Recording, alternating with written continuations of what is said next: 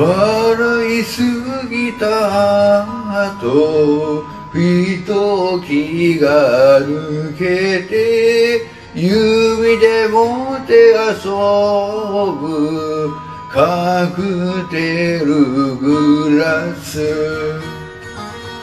映画の話もそろそろ尽きて店を変えようと誰かが言い出す。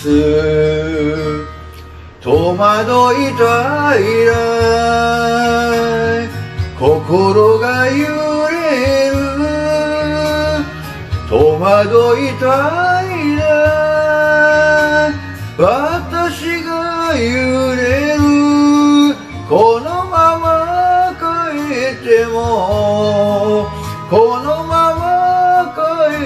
も誰もいない部屋のドアを開ける音を聞くのが辛い。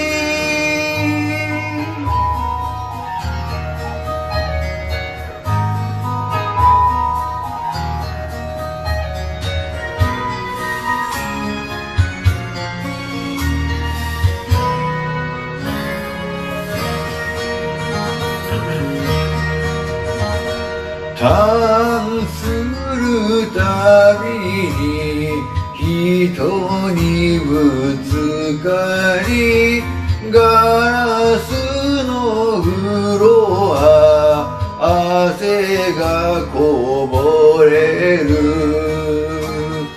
一晩ぐらいは挨拶代わり付き合わないかとあいつがささやく。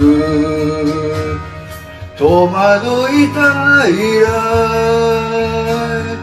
体も揺れる。戸惑いたいら